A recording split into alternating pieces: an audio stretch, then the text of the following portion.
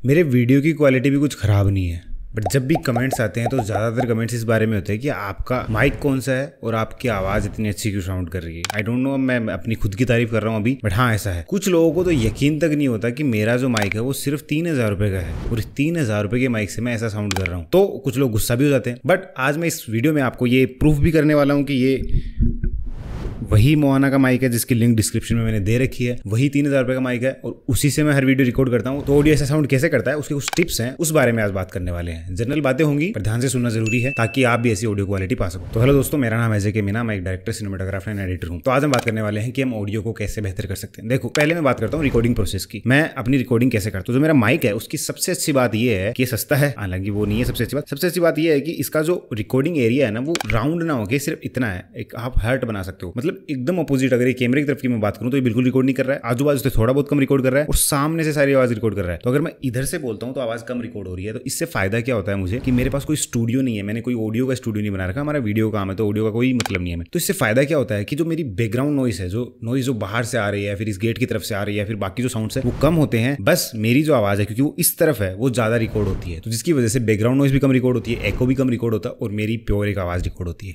दूसरी चीज़ वो ये है कि जो जिस रूम में, जिसमें मैं शूट कर रहा हूँ, वो बहुत ज़्यादा सामान से भरा हुआ है। मान लो, हमारे शूटिंग का सामान हो गया है फिर मेरे पर्सनल सामान हो गया कंप्यूटर हो गया, सब चीज़ें, लाइटें पड़ी है तो वो सबसे भरा हुआ है तो इस वजह से एको नहीं आती। वरना अगर आप इससे भी खाली मतलब ये भी प्रॉपर एको प्रूफ नहीं है अगर आप बड़े रूम में शूट करते हो तो एको बहुत ज़्यादा बनेगा तो उसकी वजह से आपकी आवाज़ गूंजेगी और आपको वो ज़्यादा प्रोफेशनल नहीं लगेगी। तो मेक श्योर sure आप जिस भी रूम में शूट करो, वो जितना छोटा हो सके उतना हो और उसमें जितना ज़्यादा सामान हो सके, उतना ज़्यादा सामान हो। और एक छोटी स्टिप हो रहा है कि अगर नीचे ज़मीन पे कारपेट होता है तो ज़्यादा अच्छे से रिकॉर्ड होती है और सामने और साइड में अगर पर्दे लटके हुए होते हैं तो ज़्यादा अच्छा साउंड आता है। हालाँकि मैं ये सब नहीं कर सकता क्योंकि मेरी हिम्मत नहीं है इतना काम करने की बट अगर आप कर सकते हो तो आप कर सकते हो, ज़्यादा अच्छी आवाज़ से रिकॉर्ड होती है। थर्टी बेसिकली आपकी आवाज़ है। जैसी आपकी आवाज़ की टोन है, वो वैसी ही रिकॉर्ड होगी और वैसी ही आप उसको एडिट कर सकते हो। उसको प्रॉपर तरीके से चेंज नहीं कर सकते। आप आलिया भट्ट के आवाज़ को शाहरुख खान की आवाज़ नहीं बना सकते। आपको शाहरुख खान की आवाज़ को अमिताभ बच्चन की आवाज़ नहीं बना सकते। वो एक पर्टिकुलर वैसी आवाज़ रहेगी आपकी। तो कभी भी किसी को मिमिक करने की ज़रूरत नहीं है कि यार, इसकी आवाज़ से साउंड करिए, मेरी एडजेक्ट ऐसे साउंड करिए, ऐसा बिल्कुल पॉसिबल नहीं है। किसी की आवाज़ भारी हो सकती है, किसी की आवाज़ पतली हो सकती है, किसी की आवाज़ बीच में हो सकती है। तो उस चीज़ को आप जैसा साउंड करते हो, वैसा ही आप साउंड रियलिस्टिक रखो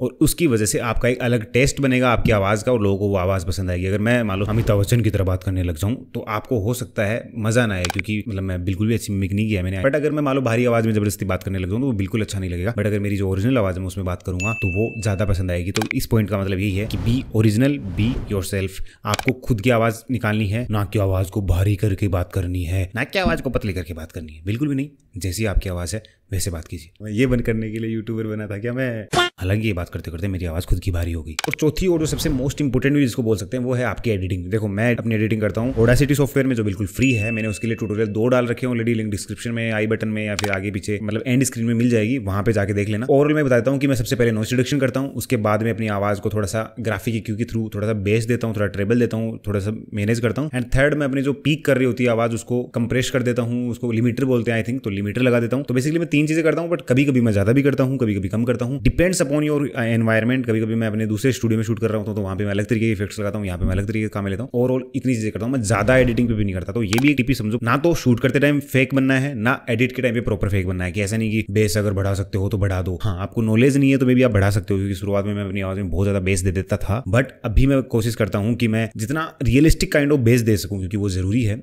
बट उससे ज़्यादा ना हो। तो ओवर किसी चीज़ को नहीं करना, ना कि शूट के टाइम पे और ना ही एडिट के टाइम पे। That's it for this video अगर आपको कुछ समझ में आया तो वीडियो को लाइक कर देना। अगर और कुछ नहीं समझ में आया तो कमेंट कर देना, मैं समझा दूँगा। बाकी ऐसे वीडियोस और चाहिए तो बता देना। बाकी वॉइस को एडिटिंग कैसे करते हैं? फ्री वीडियो एडिटिंग सॉफ्टवेयर सिटी में। तो ये लेफ़्ट वाला वीडियो है, ये देख लेना। इससे आपको समझ में आ जाएगा। इससे भी समझ में नहीं आया तो राइट वाला देख लेना। इससे समझ में आ जाएगा। और फिर भी समझ में नहीं आया तो कमेंट कर देना। मैं वीडियो बना दूँगा एक लॉन्ग वाला। थैंक यू सो मच दोस्तों। Have a nice day